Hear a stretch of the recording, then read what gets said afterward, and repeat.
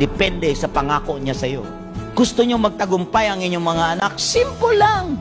Maglingkod kayo sa Panginoon na hindi yan trabaho. Maglingkod kayo sa Panginoon, hindi yan duty. Maglingkod kayo sa Panginoon dahil buhay nyo, hininga nyo. Pagkakataon nyo yan, ng reward na yan ay inyong ma-enjoy. People need the Lord.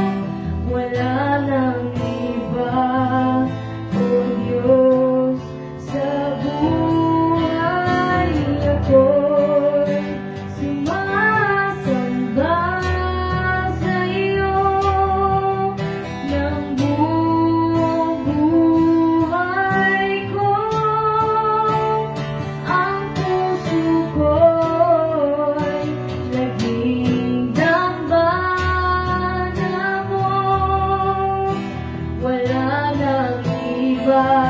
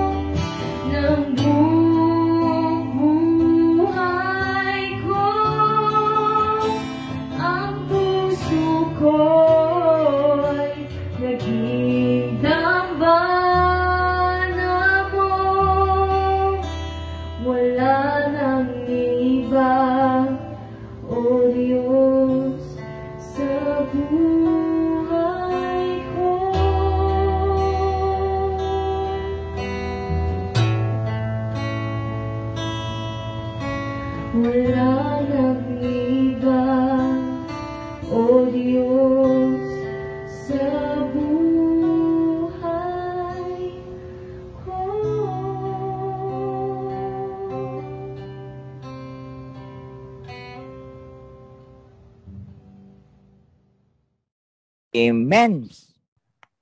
At magandang hapon po sa inyong mga kaabangers. Parang kailan lang ay talaga namang pasensya na kasi talaga namang wala po tayong linya dito.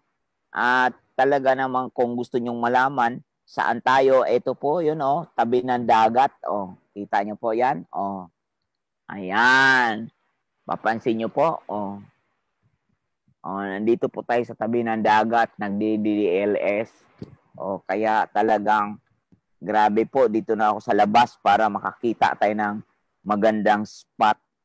Now, ngayon mga kapatid, pag-usapan natin ang karunungan at kaalaman sa gitna ng mga hamon sa buhay. Alam niyo po, kailangan dumating tayo sa punto ang tanong, bakit tayo pumupunta sa church? Bakit tayo pumupunta sa church? Kasi kung makikita nyo po, ang kaharian ng Diyos, meron siyang proseso na development para ma-qualify tayo, para tayo mag-matured. Para ma-qualify tayo for enlargement. Para ma-qualify tayo para lumawak ang ating lalim, ang ating taas, ang ating haba, at ang ating lawak. Kailangan tumaas yan, yung depth, height, width, and length tumaas talaga ang maturity and to do that, kailangan tayong magdaan sa proseso. Kasi it is our maturity that qualify us. Ang maturity natin ang magkwa-qualify. Kaya nga mga kapatid, kaya pinapahintulot niya yung aking itinuro nung kamakailan about PP, di ba? Apat na P yun. Yung perseverance, you know, persistence, PPE, PO, yata yun eh ano, endurance, alam niyo po, and purpose. Kaya makikita niyo na ang Diyos talaga, meron talaga siyang iha, ihahanda sa atin. Alam niyo kung bakit? Kasi gusto niyang ilagay tayo sa isang kalalagayan na alam nating i-handle ang success. Alam natin, malaman natin kung paanong i-handle ang success. Kasi ngayon, makikita nyo po, itong pandemic na to, itong nangyayari ngayon, na hamon na COVID nga ito, ay isa tong sa mga pag-i-stretch sa atin para maintindihan natin kung paano po tayo mag-mature sa gitna ng hamon sa buhay. Paano po tayo lumaban sa hamon sa kung ang mga lingkod noon kagaya ng mga Israelita Kagaya ng Panginoong Isus sa Matthew chapter 4, di ba? Nagdaan, dinala siya ng Espiritu Santo sa wilderness at doon talaga po mga kapatid, sabi ng Mark chapter 4 verse 12, and the Holy Spirit driveth him. Drive it, drive, drive it him in the wilderness. Meron po tayong tinatawag na wilderness experience. Meron po tinatawag na ito yung season ng pagtuturo ng Panginoon para tayo ma-develop at magtiwala sa Kanya para maintindihan natin yung ating karakter, yung strength ng ating ugali. Ma-develop ang ating endurance. Sabi din yan ng Romans chapter 5, di ba? Sabi yan ng Romans chapter 5, mga kaabangers, na hindi po talaga lahat ay gaan. Pa hindi po mai, hindi po yan ma, natutukoy sa mga magagaang pangyayari, sa mga maginhawang pangyayari. Pag pinag-usapan na maturity, nandoon yung gitgita, nandoon yung pitpita, nandoon yung hirap, nandoon yung nandoon yung lahat ng ibang klaseng mga ingredients. Makita lang kung gaano ka-pure ang iyong spirit, kung gaano ka-pure ang iyong ugali. Kaya nga mga kapatid, hindi mo maintindihan ang endurance kung walang pagtitiis. Hindi mo maintindihan ang pagtsatsaga. Di yan lulutang kung walang pagtitiis. Sabi ng Romans chapter 5 yan.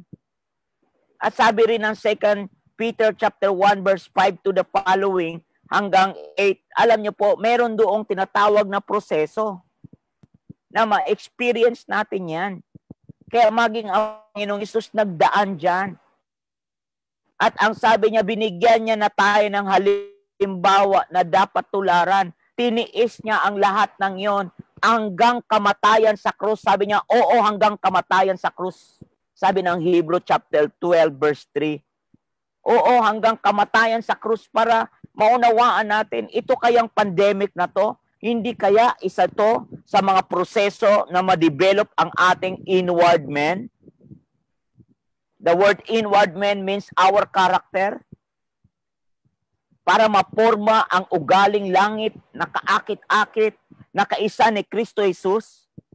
Di, di lang ito natutukoy sa pera-pera. Hindi po, mga kapatid, di naman lahat nagagawa ng pera eh. Alam niyo po, di po nagagawa lahat ng pera. O, ano naman yung napakalaki ng bahay mo. Wala naman, wala naman sa ayos ang buhay mo. Ani naman yung tinatawag na kamang waterbed kung ang nakahiga ay living dead. Ani naman yung air condition kung wala ka naman sa kondisyon. Sa madaling sabi mga kapatid, hindi po lahat ng hawak ng iyong kamay ang makapagsasabi na okay ka na. Kaya ka okay kasi may na-develop sa buhay mo. May natutunan ka sa buhay mo, na-develop sa buhay mo ang magtiwala sa Diyos ang manalig sa Panginoong Yesus na napagtagumpayan niya na yan. Sabi nga niya sa Hebrew chapter 12 verse 3, hindi pa umabot. Hindi pa umabot hanggang dugo. Hindi pa umabot sa dugo ang inyong pakikibaka laban sa kasalanan. Kaya nga po, meron tinatawag na karunungan at kaalaman sa gitna ng mga hamon sa buhay. Karunungan at kaalaman sa hamon sa buhay mga kapatid, kaya dapat mo maintindihan na mayroon pong hamon sa buhay. Hindi po puro ginhawa ang akala mo pag manalig ka sa Diyos, puro ginhawa. Hindi po, mas after ang Panginoon, mas habol ng Panginoon na mabuo ka, maporma ang ugaling langit sa buhay mo. Hindi lang maporma ang katayuan ng bulsa mo. Side benefits lang po yan. Yan ay pawang Side benefits lang po yan. Ang pinakamataas na puso ng Diyos ay maporma talaga ang wangis ni Kristo Jesus as He is pure. Kaya sabi niya, be pure as He is pure. Sabi ng 1 John chapter 3 verse 2 to 4. Be pure as, as He is pure. Be perfect as He is perfect, as your Father is perfect. Sabi ng Matthew 5.48. Luke 6.36, Be merciful as He is merciful. Ma- makikita nyo po yung sukatan na yun, yun po yung ating dapat maabot. At maaabot natin yan at marating natin yan dahil sa pakikipag-isa natin kay Kristo Jesus, dahil sa ating pananalig kay Kristo Jesus, dahil sa ating pakikipag-isa sa mga salita ng Diyos. Kasi ang Diyos at ang mga salita niya ay hindi pwedeng maghiwalay. Otherwise, kapag nanalig ka lang sa, sa Diyos at wala ang salita niya, Diyan na, nadadali ang maraming mananampalataya. Nadali kay haka-haka, nadali kay kuro-kuro, nadali kay sabi-sabi, nadali kay daw-daw, nadali kay baka sakali, nadali kay palapalagay. At nadali sa akala ko. Ayan ang problema pag wala po tayong salita ng Diyos. Hindi pwedeng maghiwalay ang Diyos at ang mga salita niya. Hallelujah! Kaya nga kung, mana, kung kayo manatili sa akin at nanatili sa inyo ang mga salita ko, hingin nyo na ang inyong maibigan, sabi ng John 15. Napakahalaga po yan mga kapatid. Napaka-importante po yan sa buhay natin. Yes, lahat importante. Ang mga ang may bahay ka, importante ang may hanap buhay ka. Pero ano ba ang mas importante? Buhay o hanap buhay? O, tingnan nyo. Ano bang mas importante? Lahat hanap buhay, importante yan. Pero ano ang mas importante? Di ba ang bigyan kanya muna ng buhay? Kaya sinabi niyang, ako ang buhay. Sabi ng John 14.6. Kaya sinabi niyang, ako ang buhay.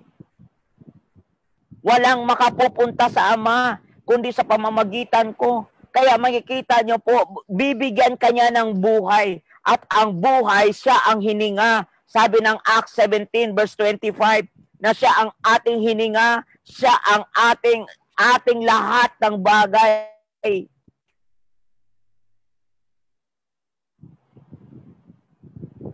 Siya rin ang ating buhay. Kaya nga makikita nyo po, ang paglilingkod ay privilege yan.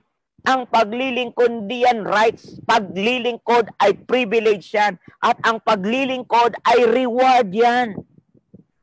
Kaya bakit po tayo nagsisimba? Bakit po tayo pumupunta sa gawain ng Diyos? Para i-train ang ating spirit to handle sa lahat ng hamon sa buhay.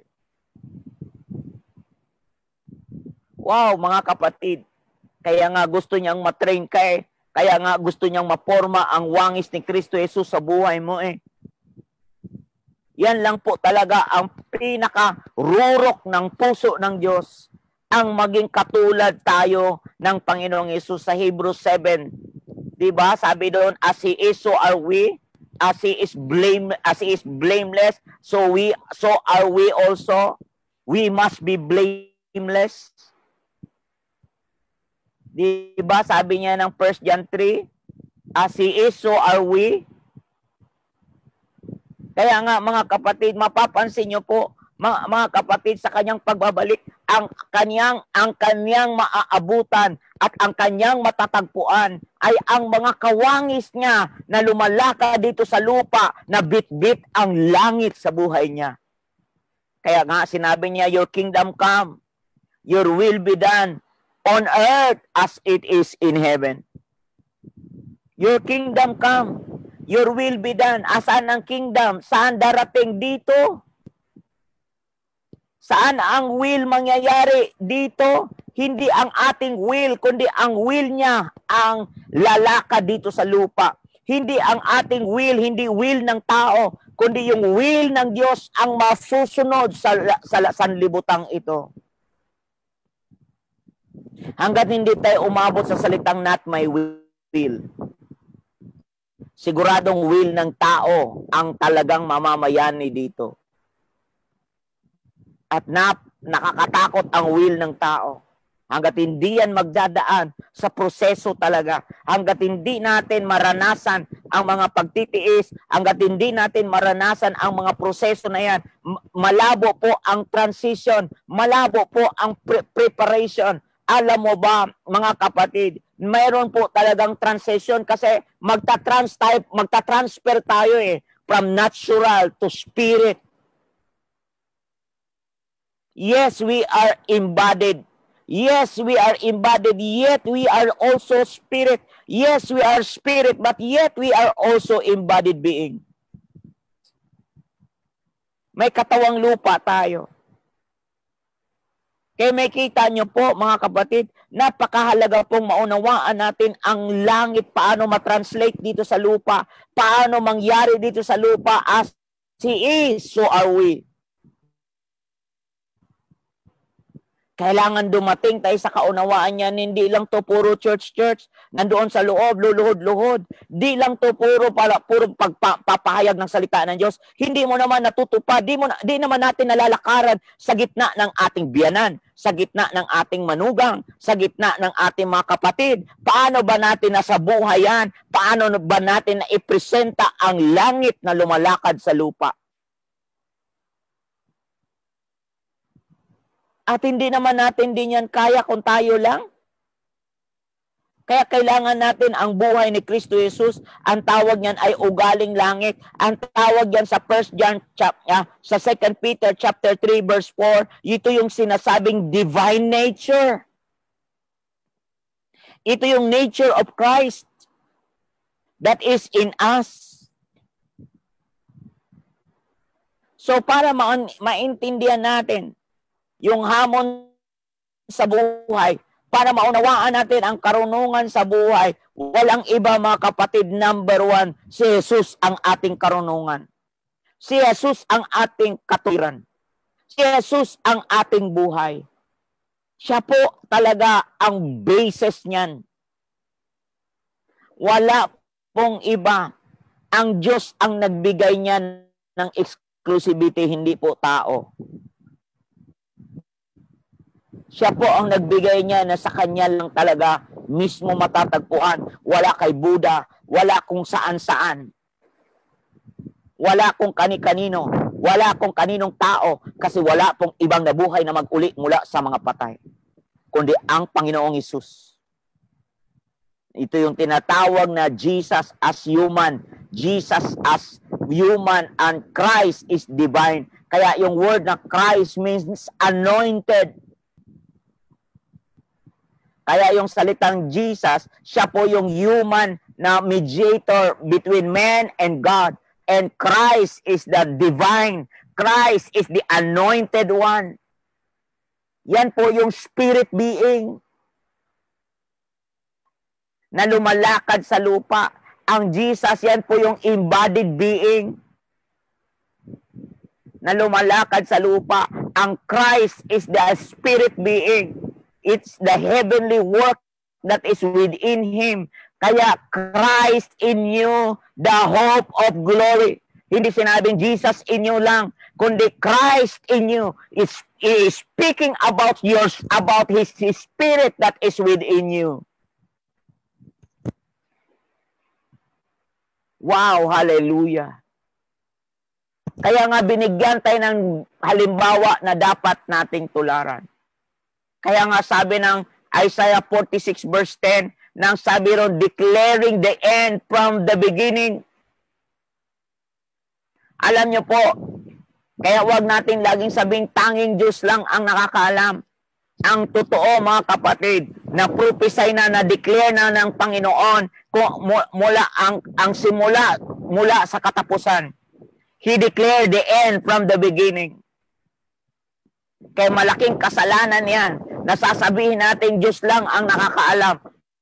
No, no, no, no. Sabi ng Amos chapter 3 verse 7, hindi gagawa ang Diyos ng, na hindi niya ipapaalam sa tao. Kaya nasa sa atin ang uh, kaya nasa sa atin intentional po 'yan at nasa sa atin ang alamin ang mga hiwaga na 'yan. Kaya nga mga scientists na 'yan, di naman sila talaga ang ang original niyan, sila lang ay nagdiscover sa tinapos na ng Diyos. Hindi sila ang founder. Diyos ang founder. In-explore lang nila ang tapos ng nilalang ng Diyos. Kaya nga po, he declared the end from the beginning na nasabi niya na ang katapusan mula pa nung una pa. Nasabi niya na Diniklara niya na ang katapusan mula ng na, mula ng magsimula. Kaya he always begin with the end. Kaya nga nagsimula ang kaligtasan ng si Jesus ay nagsabi, it is finished. Di ba? Nang sinabi niyang it is finished. Kasi tinapos niya naman talaga yon na ang, ang, ang, ang legacy na yan, na ang tinatawag na pagpapalang inagaw ng kaawayan, na kinuha ng kaaway doon sa Garden of Eden, na ngayon ang Panginoong Yesus nang mamatay sa sa krus, nabawi niya na embargo niya yan, na ilipat niya muli ang authority na nailipat ng tao na sinuko ang sovereignty ni Adan, sinuko niya kay Satanas nang si Jesus ay namatay at nang si Kristo Jesus ay nabuhay, ibinalik sa iyo yan. Ibinalik sa akin ang dominion na yan. Wow, glory to God. Kaya pag sinabing karunong ay karunong ng Panginoon ang sinasabi ng 1 Corinthians chapter 1. Kaya sinasabi niya nga, declaring the end from the beginning. At ang sabi niya sa Isaiah 46 verse 10, My purpose will be established and I will accomplish all my good pleasure. Wow, hallelujah. At paano magkaroon ng katuparan yon? Dahil sa katauhan at buhay ni Kristo Jesus. Purihin ang Diyos, mga kapatid. Purihin ang Panginoong Yesus. Dahil my purpose will be established. Sabi ng Panginoon sa pamagitan ni Isaiah. At paano in-establish ng Diyos yun? Jesus ay nagkatawang tao para panayan na ang purpose na yan. Kaya nga sinasabing, I serve God through His purpose. Wow, hallelujah to the Lamb. Amen to that. I serve God through His purpose. Kaya makikita nyo po, napakahalaga pong maintindihan natin yan. Napakahalaga na mabuhay tayo sa purpose na yan. Alam mo ba, ang pinakamahirap sa lahat at sa lahat ng mahirap ay ang taong walang purpose. Hindi naman yung wala kang pera eh. Ang pinakamahirap sa lahat, ang taong walang purpose. Pinakamahirap sa lahat ng mahirap ay ang taong walang purpose. Kaya nga, napakahalaga mga kapatid. Napakahalagang maintindihan mo na ang sabi niya, sabi niya sa Proverbs 19:21, many plans are in a man's heart. But the purpose of the Lord will stand. But the counsel of the Lord will stand. The word counsel is the will of God. And the word counsel is the word of God. And the word of God is the purpose of God. Wow! Hallelujah! Kaya nga, number one, mga kapatid, walang ibang karunungan, walang ibang kaalaman sa gitna ng mga hamon sa buhay, laban sa hamon sa buhay, walang iba kundi ang ating Panginoong Isus, mismo ang ating karunungan. He is our his wisdom himself. Wow, amen to that. He is our personified purpose himself. Siya po talaga ang lahat-lahat sa ating buhay. Siya talaga po, sabi niya sa Isaiah 14:24, the Lord of hosts has sworn saying, surely just as I have intended, so it has happened. And just as I have planned, so it will stand. Just as I have planned, so it will stand. Woo! Hallelujah! Saan ka pa niyan? At sino pang matapang, kahit gaano pa katibay ang Assyria, sa lugar ng Panginoon, sa syudad ng Panginoon. Sabi niya, I will trample him on my mountains. Sabi niya, then his yoke, then his yoke will be removed from them and his burden removed from their shoulder. Verse 26, this is the plan devised against the whole earth. And this is the hand that stretched out against all the nation. Ito yung sinasabi, verse 27, For the Lord of hosts plan and who can prostrate it? Who can prostrate it? And as for his stretched out hand, who can turn it back? Sinong makakapigil nun?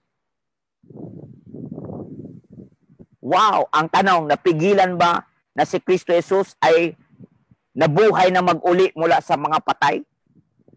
Sa gitna ng mga patay, napigilan ba siya ng kamatayan? Hindi. Kaya hindi rin mapipigilan ang tagumpay mo, kaabangers. Hindi mapipigilan ang tagumpay mo.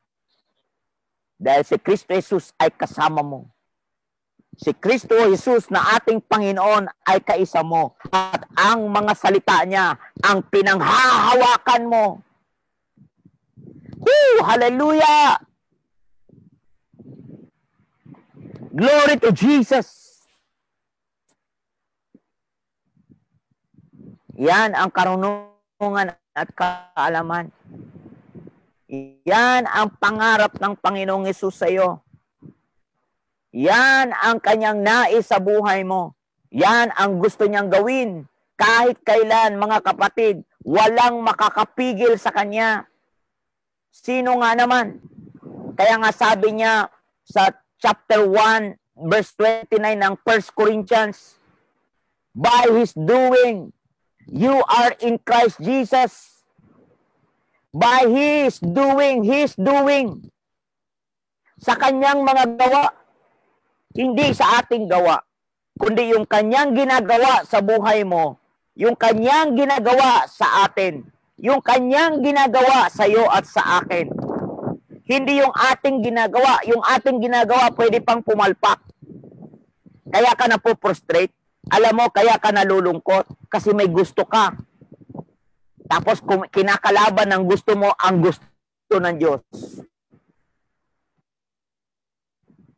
Ang kabangga mo pa, ang Diyos na mismo. Kaya nalulungkot ka, kaya, kasi ang gusto mo hindi mo nasunod. At kapag once dumating nang imasok ang Diyos, ay tingin mo parang mayroong kontrabida sa buhay mo. Pag dumating ang nagsasalita sa DLS, pag napagsabihan ka, ayoko dyan sa nagsasalita na yan, kontrabida yan, parang kinukontra lahat ang aking sinasabi, parang kinukontra lahat ang aking pangarap, parang kinukontra lahat ang aking mga nasa isip. Oy, kapatid, hindi kita kinukontra.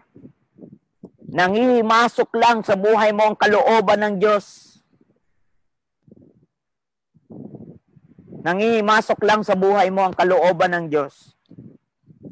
Wala po akong sinasabi dito na hindi galing sa salita ng Diyos. Wala po akong sinasabi dito na hindi sinabi ng salita ng Diyos. Kaya kapag salita ng Diyos ang nagsasalita sa iyo, better listen. Magpahi- magpahinga ka sa gawa mo. Payagan mo ang Diyos na magbigay sa iyo ng lakas. Kaya nga sabi niya sa 1 Corinthians 1.30, By His doing, you are in Christ Jesus, who became to us wisdom from God. Who became to us wisdom from God. Na naging karunungan natin. Na galing sa Diyos Ama. Na naging katuwiran natin, naging righteousness natin. At naging kabanalan natin naging kabanalan natin, sanctification, at naging kaligtasan natin. Kaya upang walang sino mang magmalaki, at kung may meron mang gustong magmalaki, ipagmalaki niya ang kahangahangang ginawa ni Kristo Jesus sa buhay natin. Woo! Hallelujah! Glory to Jesus! Palakpakan mo ang Panginoong Isus. Hallelujah. Because God did it all. Amen to that. Wala namang exempted kapatid eh. Wala talaga. Hindi rin naman exempted na pag nag-aral ka, exempted ka ba sa mga examination na binibigay ng teacher? Alam mo, pag nag-aral ka, walang examination, hindi malalaman kung gaano ka ba ka talas. Katalas ang utak mo. Katalas ang talino meron ka. Eh sa Diyos, kung walang pagsubok, paano malalaman ang ugali mo? Kasi ang eskwelahan sa lupa, tutor of the mind. Ang eskwelahan sa Holy Spirit ay tutor of your attitude. Tutor of your spirit. Ang eskwelahan sa lupa, tutor of your mind. To sharpen your mind. But sa salita ng Diyos, to sharpen your spirit. The Lord is the tutor of your spirit paanong timbangin ang lahat ng natural law at spiritual law. Hindi mo pwedeng kailanman ang natural law cancel ang spiritual law. Ang lahat ay nanggagaling sa spiritual law na matupad sa natural law. Mangyari sa natural law.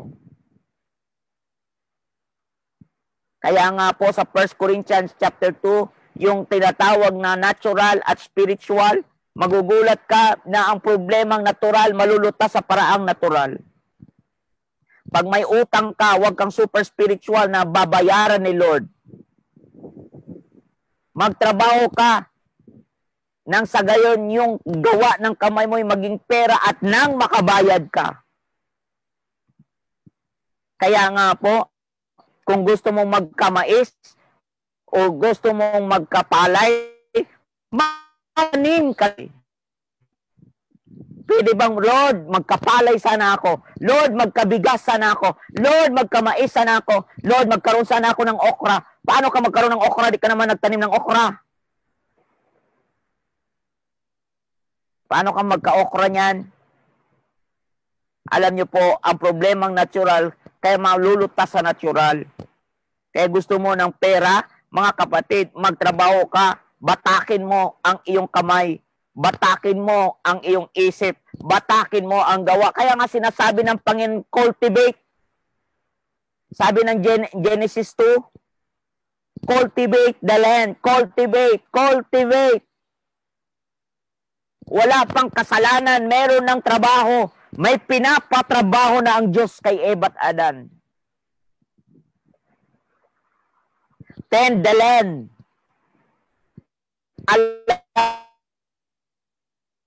gano mga Jesus ang wala nawala sa atin para maibalik ang mga nawala sa atin. Kaya ang Panginoong Yesus ang naging susi ng Diyos. Wow, hallelujah. Grabe ano, matindi yan. Alam mo ba, kailangan maalis sa atin ang pagiging isip alipin. Maalis sa atin. Kaya nga po, yan ang layunin kung bakit ang Panginoong Yesus, ang layunin kung bakit ang Panginoong Yesus ginawa niya hanggang sa krus sa Kalbaryo para maalis sa atin ang mentalidad, ang maalis sa atin ang alipin na isipan. Yan ang letter A. Maalis sa atin ang alipin na isipan na lagi ka na lang, lagi ka na lang buntot, buntot, buntot, hindi ka ulo, hindi ka binigay. Ay, nako kapatid, gusto ng Diyos na maging ulo. Pero dahil sa kasalanan, naging buntot ka. Paulit-ulit ang cycle of your defeat. Kasi bakit paulit-ulit rin? At naging sanay ka na, halos ugali mo na, halos uh, masaya ka na na gumawa ng mali. Kaya anong bagsak mo? Yun, okay na to. Parang sa kontento ka na lang. Di bali mahirap. Anong di bali mahirap? Di yan ang kalooban ng Diyos sa'yo. Hindi kalooban ng Diyos humirap ka. Hindi kalooban ng Diyos na maging lugi ka lagi sa buhay mo. Maalis talaga, matanggal talaga. Kaya ang purpose, ang layunin ng mga hamon sa buhay, ang layunin ng mga pagtitiis sa buhay, ay alisin talaga ang pagigili. Wow, hallelujah. Okay ka pa ba dyan? Ha? Maalis sa atin. Naalala niyo po ba sa Deuteronomy chapter 8? Verse 2 to 3? Sabi niya doon sa mga Israelita, kaya nga wala nga pong exempted eh. Napakagaling na makita natin na yung pagsubok na dinadanas mo ngayon ay hindi hindi hindi ikaw lang. Walang pagsubok na di dinanas ng lahat ng tao. Sabi ng 1 Corinthians 10.13, lahat, wala pong pagsubok na di dinanas lahat ng tao. Ibig sabihin, hindi ka nag-iisa. Hindi ka ngayon nag-iisa sa pandemic na to. Hindi ka nag-iisa sa hamon ng pangyayari ngayon na ito. Pare-pareho tayong may kinakaharap. Pare-pareho tayo na ating pong kinakaharap ang labanan na ito pare-pareho tayong lumalabas sa na, lumalaban sa labanan na ito.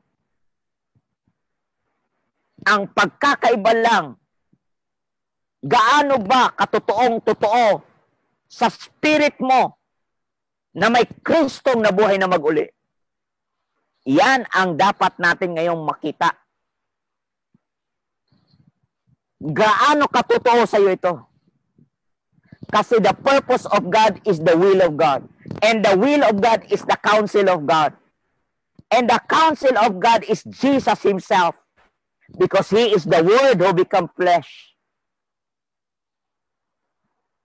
Siya ang salita na nagkatawang tao at nananahan sa piling natin. Kaya tinawag siyang Emmanuel. Sa kanalang natin, himay-himayin ang salita na yan. Kaya ma- masasabi mo talagang wala pong bigo na nananalig sa Diyos. Wala pong napapahiya. Kung meron mang mga nangyayari na di maganda dahil gusto lang ipakita ng Diyos na subukin kung gaano katibay ang iyong ugaling langit. Para gustong makita how pure ang iyong spirit. Yan po talaga yan. Wala pong iba. Oh, anong pagkakaiba? May pera nang naman. Pera, pera ay pera lang talaga. Bahay, bahay lang talaga. Sasakyan, sasakyan lang talaga. It has nothing to do with your spirit. Believe me, it has nothing to do with your spirit. Pwedeng magkaroon yan kahit wala ang Diyos. Yung bagay na yan. Pero walang kinalaman ng spirit mo dyan. Kasi ang spirit, hindi pwedeng tapalan ng karanta. Sa chapter 12 po, ah, sa lahat ng uri ng kasakiman sapagkat ang buhay ng tao wala sa laki ng kayamanan. Mag-ingat sa lahat ng uri ng kasakiman. Sapagkat ang buhay ng tao wala po sa laki ng kayamanan. Kaya nga po mga kapatid, mapapansin nyo po, yan ang sinasabi ng Luke 12 chapter chapter 12 verse 15. Mag-ingat sa lahat ng uri ng kasakiman. O, di ba? Sapagkat ang buhay ng tao wala sa laki ng kayamanan. Yan po, yan dapat makita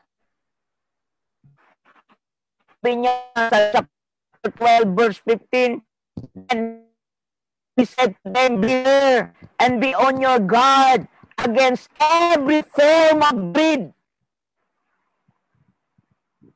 Every form of greed. Kasi wala pong perang makakadagdag sa miserable mong totoong kalagayan sa loob.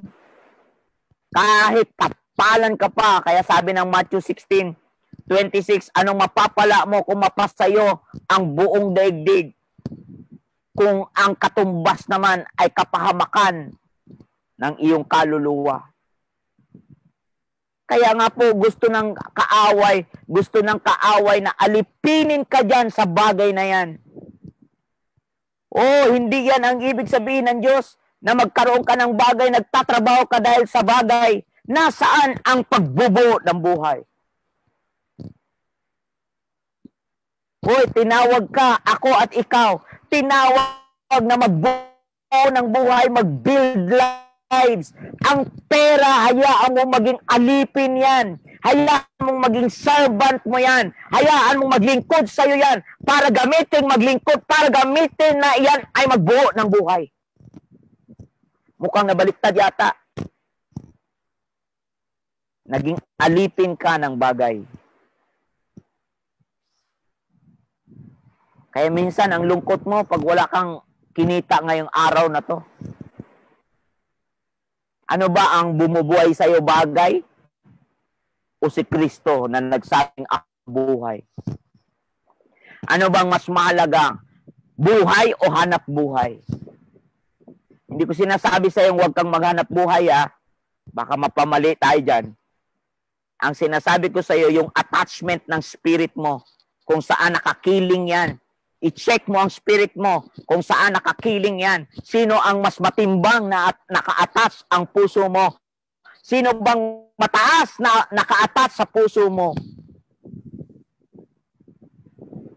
Kasi kung mataas ang Diyos dyan, ay talagang ligtas ka sa slave mentality. Alam mo ba ang slave mentality, kung wala ako niyan, parang kulang. Kung wala ako niyan, parang di na maayos ang buhay ko. Kung wala akong sasakyan, buti pa sila, may sasakyan. Kung wala akong paa, eh di lalo naman kawawa ako, may saklay ako, may kuba pa. Kasi wala akong kagaya ng likod na meron ka. Wala akong paa na kagaya ng meron ka. Pero bakit ako naman ay napakasaya? Buo ang buhay ko kapatid, kasi ang pagiging buo sa buhay ay wala po sa taa, ta, tayo ng paa, wala po sa latag ng likod. Ang buhay po ay si Kristo Jesus. Believe me, paniwalaan mo ako. Magkapareho lang naman tayong tao tayo ang pagkakaiba, buo ang likod mo, sa akin may kuba. Buo ang paa mo, sa akin may saklay. Pero ang gusto kong itanong ngayon sa iyo, buo ba ang buhay mo? Sana. Kasi ang buhay, wala sa bagay. Ang buhay nasa persona. Sino yung persona na yon? Si Kristo Jesus. At ang maglingkod sa Kanya is a great reward. Wow! Hallelujah! ang maglingkod sa Kanya is a great reward. Gantimpala ang maglingkod sa purpose ng Diyos.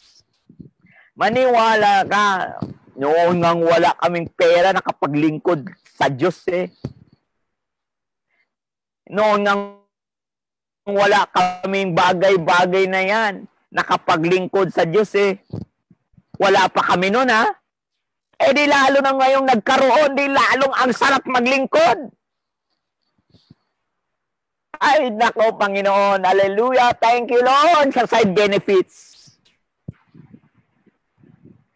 Alam mo, hinihimok kita. Di po talaga, ay nako, di po talaga paramihan ng bagay na yung hinahawakan sa bangko na hinawakan sa kamay mo, the, hindi po sa dami ng bagay, laki ng bahay, sa laki. Although lahat ito mga side benefits ang gaganda. Pero ano bang mas importante? Yun ang matindi. Kasi sinasabi nga ng Bible, one thing is needed eh. One thing is needed. Yan yung sinasabi ng Bible sa Luke chapter 10, di ba?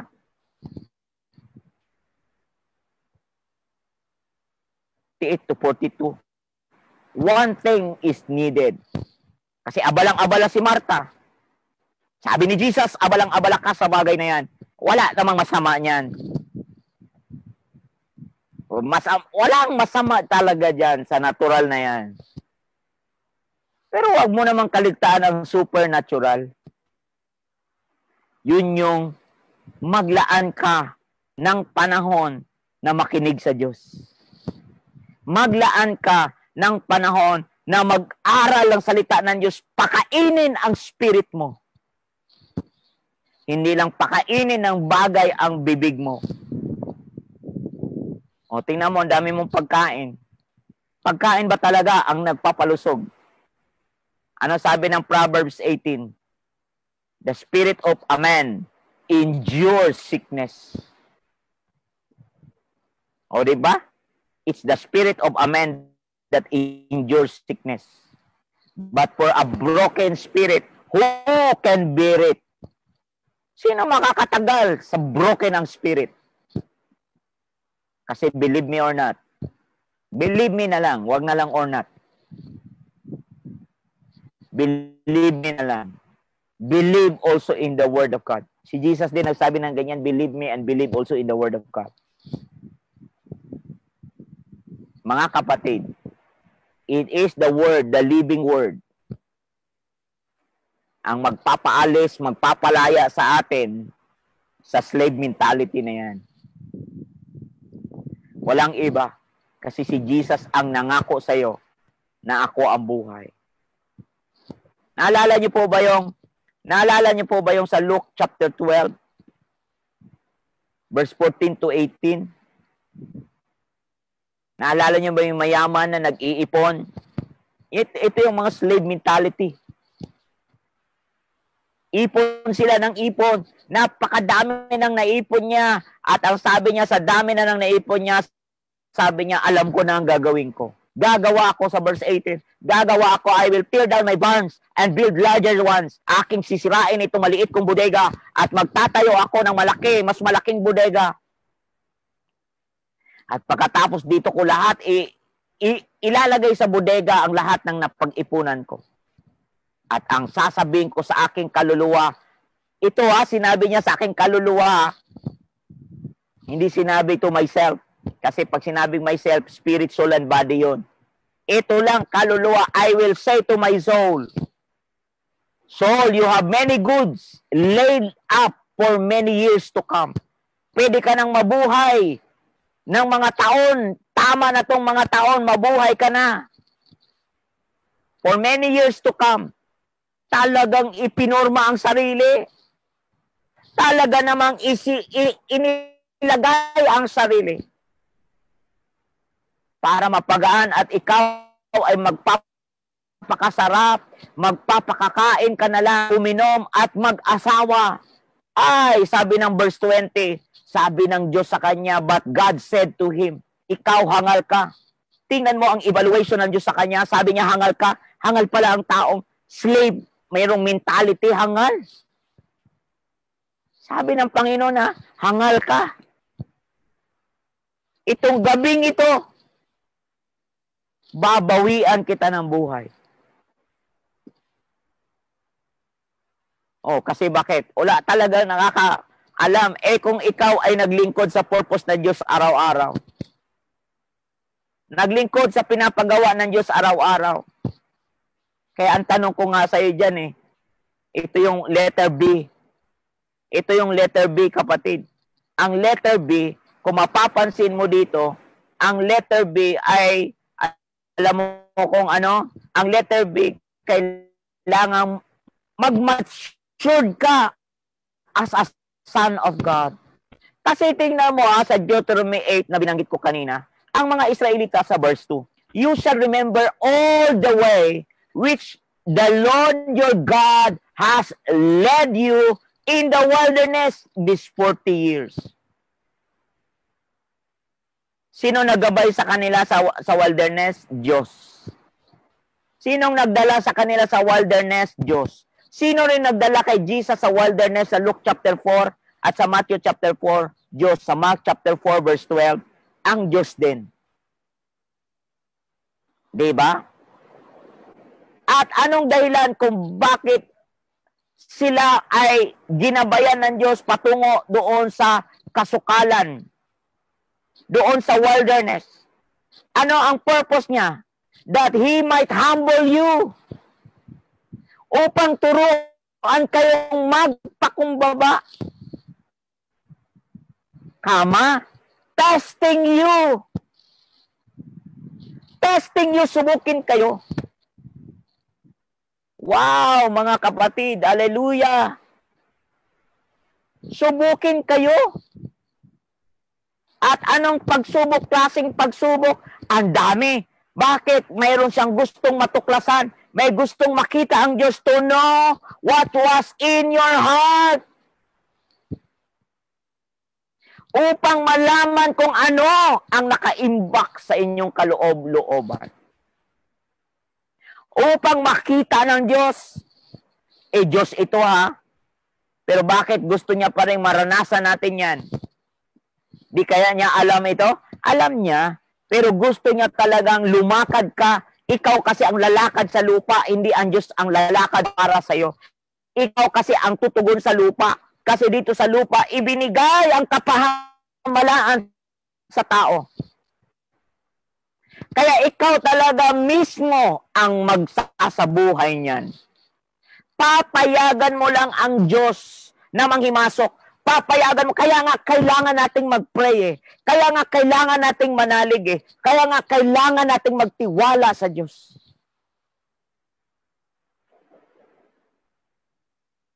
Wow! Hallelujah! Talaga naman, Lord! Thank you! Hindi tayo ginawang robot. Para malaman niya kung anong laman ng ating puso, kung tayo ba'y susunod sa Kanya o hindi. Kung tayo ba'y susunod sa Kanya o hindi. Kaya dito magugulat ka, Diyos ito ha, ininarang ka sa isang sitwasyon para ang Diyos makatuklas ano ang iyong pagkataong panloob. Alam mo ba, hindi mo naman malalaman kung sino ang iyong kasama hanggat hindi yan mag-dance testing. Hanggat hindi ma ma-refined, hindi ma masubok ang relationship, wala pa hong malalim na katotohanan ng inyong pagsasama na dalawa. Kasi hanggat wala pang kiskisan diyan, hindi mo makita-kita kung sino pa rin ang taong kasama mo araw-araw. Pero pag nagkasubukan ng kiskisan yan, doon mo ngayon totoong malalaman sino ba talaga ang iyong kasama at ano ba talagang klasing tao ang iyong makakasama. Kasi ang talagang kiskisan, wala pong magagandang nangyayari. Puro pangit talaga ay sabihin ko sa iyo.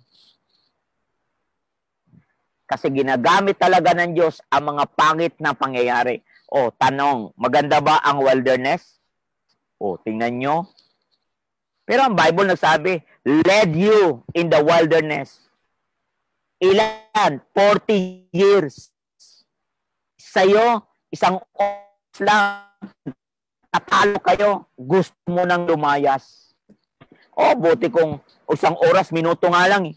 Gusto mo nang hiwalayan yung sinasabi mo dating mahal kita. Pero hinihiwalayan mo na. Kasi bakit? Nakante. Ay, talaga naman. May nakante dyan. Alala, talaga. May nakante. Ala, talaga naman. Ay, nako, kapatid. Kaya nga sinasabi ko sa iyo. Doon mo talaga malalaman kapag meron na ho talagang pangit na nangyayari, kung talaga bang subok na matibay na nanalig ng Diyos na nilagay sa buhay mo, yung tao na yan. Ay, pag ka, di pagpalain mo na lang sila, wag mo na lang sumpain. Pagpalain mo. Kasi baka pag sinumpa mo, ang maiwan sa kanilang maalala, sinumpa mo sila. Pagpalain mo na lang. Kasi hindi na sila naniniwala sa iyo. hindi na naniniwala sa iyo. Ayaw maniwala sa iyo, pagpalain mo na lang. Anong gusto mo? Maglingkod sa iyo na demonyo naman. Maglingkod sa Diyos kasama mo pero na demonyo naman.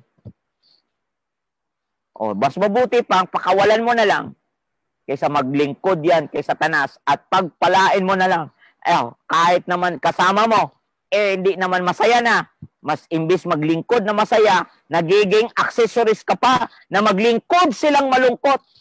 Pagpalain mo na lang. Hallelujah. Sa kontekst ito ng paglilingkod, ha, baka naman kayong mag-asawa, sa inis mo na. Ay, nako, sa kontekst ng mag-asawa, hanggang kamatayan. Hallelujah. Tindi yan. Ay, nako. Ay, believe me, believe me, believe me, and believe also in the Word of God. Ang tindi niyan. Ay, nako, grabe ito na. Grabe na to. Sobra na to. Hallelujah. Kaya sabihin ko sa iyo, kapatid, to know what was in your heart, whether you would keep His commandments or not. Yan po ang totoo dyan. Para malaman, gustong may makita ang Diyos, gustong may matuklasan sa iyo, at gusto niyang makita harap-harapan na kung ikaw ba'y masunurin, gusto niyang makita harap-harapan, huwag mong laging sasabing, tao lang ako. Oy, naging tao rin si Jesus para wala kang maidahilang tao ka lang. 100% naging tao siyang kagaya mo at kagaya ko. At bakit siya 100% naging tao at kagaya mo at kagaya ko para matulungan ka? Yan po ang totoo dyan. Para matulungan tayo ng mga mahihina. Sabi ng Hebrew 4, o di ba?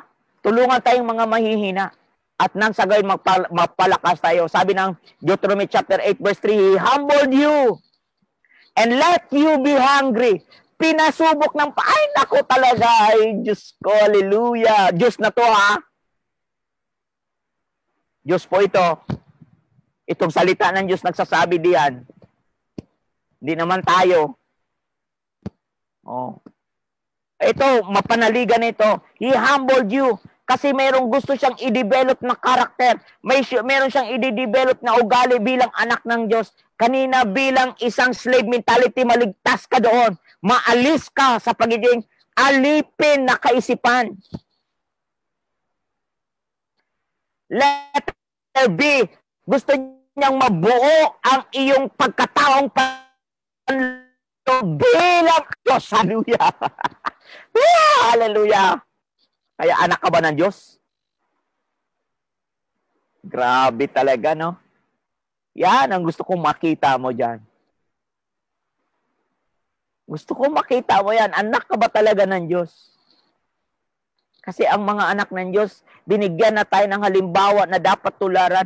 Binigyan na tayo po ng mga mga pasimula, mga kapatid. Magbasa ka ng Bible, makikita mo yan sa Hebrew 12. Magbasa ka ng Bible sa 1 John chapter 3. Magbasa ka ng Bible, mga kapatid, sa 2 Corinthians chapter uh, chapter 2 Corinthians chapter 3 verse 2 to the following. Magbasa ka ng salita ng Diyos sa 2 Peter chapter 1 verse 5 to, to 13. Makikita mo kung gaano katotoo ang mga salita ng Diyos.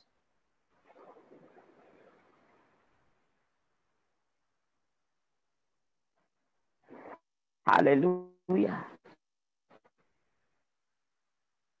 Grabe kapatid. Sa gitna ng mga pandemic na to, sa gitna ng mga labanan na ito, alam ko, mga kapatid, ang dami kang kinakarap na problema. Naintindihan kita dyan. Pero dapat mo ring maintindihan na may Diyos na tapat. May Diyos, may Panginoon na tapat na nabuhay na maguli. At siya yung iyong karunungan. Siya yung iyong kalaman. Siya yung iyong katuwiran. Siya yung iyong sanctification. Siya ang iyong redemption. Hallelujah to the Lamb. Kung meron mang magmalaki, ipagmalaki niya ang Kristong nabuhay na maguli. Oh, the glory of your presence. And we, your temple, give you reverence. Di ba? As a temple of the Holy Spirit. As a dwelling place of the Holy Spirit. As a temple of Him. Just allow Him fully to develop your strength. Yan yung pangatlo. Ang maporma ang iyong strength at maporma ang iyong ugaling langit. Maporma ang iyong lakas na panloob. Alam mo ba, hindi naman lang bisig ang malakas eh. Alam mo ba, ang totoong lakas ay ang ugali. Okay, kung ang lakas ay bisig yan. Ang dami ng malalakas ngayon, ang lakas-lakas ng katawan pero duwag. Kasi wala pong kinala, walang kulang po ang. Merong isang lakas. Ito yung strength from the inside, strength from the inner man. Strength from the inner man. Strength of character. Yung strength ng character mo. Anong character yon? To know what God wants to and to do what God wants. Able to do what God wants. Willing to do what God wants, whatever it takes. Yan ang strength ng character. Able to please God at all times. Yan ang strength ng character. He hates sin and he loves righteousness. Yan ang strength ng character. Wow, kagaya ni Joseph. 'Di ba? Tumakbo siya palayo kay Mrs. Potiphar, strength ng character. Ang pagkakaiba nila ni Samson, pinahiga lang sa hita, sumama naman, umayo naman, kaya nabulag siya. Yan pagkakaiba ng strength ni Joseph at pagkakaiba ng strength ni Samson. Si Samson napakalaki ng katawan, pero wa, anong nangyari? May nagawa ba yung lakas niya? Nagawa ba laban kay Delilah? Yan ang pagkakaiba ng dalawang malakas. Isa ay malakas ng panloob. Yung isa naman na si Samson ay malakas ng panlabas. Saan lakas? Anong lakas meron ka? Ito ba'y lakas ng panloob? Na yun ang tunay na lakas? O yung lakas lang ng katawan? Duwag naman. Grabe ito. Kaya pag naintindihan mo to kapatid na ikaw nakikinig ngayon, yan yung pangatlo. Yan yung letter C. Letter A, makita, mapagtagumpayan mo ang mentalidad ng aliping mentalidad hindi ka alipin ng bagay. Ikaw ay aliping maglingkod sa Diyos. Ikaw ay bond servant na maglingkod sa Diyos, mabuhay sa privilege kasi ang paglilingkod ay reward. Privilege mo yan. Thank you, Lord, sa privilege na mapaglingkuran ka. Kaya tinawag yan ng bad servant. Kasi bakit bad servant? It is for freedom that Christ has set you free. Hindi ka pinilit. Hindi ka tinutukan ng baril sa ulo mo para sumunod o manalig ka. Kundi ikaw ay hinintay at kusang nagsuko na di ka pinilit. Kaya hindi ka slave mentality. Pangalawa, letter B, ikaw ma-develop, mag-matured bilang anak ng Diyos. Binigyan ka ng karapatan na maging anak ng Diyos at bilang anak ng Diyos, mag-matured ka. You have to grow in all aspect. Mag-grow ang pagkatao mo. Mag-grow kung sino si Jesus sa iyo. Lumago yan. At letter C, na totoong strength, kapatid, ay yung strength ng iyong karakter. Strength ng karakter. Yung strong karakter. Yun yung tinatawag na iron of the soul. Hindi lilimbot-limbot. Hindi tangay sunod. Kundi may disposisyon ka sa buhay. Ako po ay namamanik sa puso mo sa oras na ito kung ikaw ay nakikinig, Kung ikaw ay inabot ng mensaheng ito, nawa na pagpala ka. Nawa na abot ka ngayon ng mensaheng ito na ang susi mo ay si Kristo Jesus at walang nanalig sa Kanya na napahiya, walang nanalig sa Kanya na naghirap, walang nanalig sa Kanya na nan. Bagko at nanalig sa Kanya ay naging mananagumpay naging mananagumpay sa buhay. Hinihimok kita. Namamanig ako sa puso mo. Lumapit ka ngayon sa Panginoong Isus. Manalig ka ngayon sa Panginoong Isus. Ano man yung kinatatakutan mo, ang sabi ng 1 John chapter 4 verse 18 na ang pag-ibig cast out fear, love cast out fear. Ang pag-ibig niya ay pumapawi ng takot pag-ibig niya ay pumapawi ng takot. Pagkat ang pag-ibig niya ay siya mismo yon. Siya mismo ang buhay mo.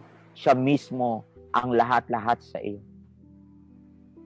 Kapag yan ang pinaniniwalaan mo, magugulat ka na lang isang araw na di mo iniisip, mayaman ka na. Kung And nag-isip kung uunlad ka, nagulat ka na lang. Parang kailan lang yon, mukhang kahapon lang yon. That was 20 years ago o 11 years ago. Parang ilang taon lang yon. Pero nagulat ka na lang, mayaman ka na ngayon. Bakit? Kasi ang kahirapan, kapatid, sumpa yan. Ang kasaganaan ay biyaya yan galing sa Diyos. Kasi sabi niya, bibigyan ko kayo ng lakas upang managana kayo. Sabi ng Deuteronomy 8.18. At ang lakas na yan, yan yung develop, i- i-forma ang strength of your character. Strength of your character to do what is right in the eyes of God. To do what is of God. Yan po yan. You hate what God hates. You love righteousness you hate sin. You embrace what is for the glory of God. You embrace what is the word of God that was mentioned to you. That was preached by by his servant. And that is the strength of your character. Oh, hallelujah. Manalangin tayo.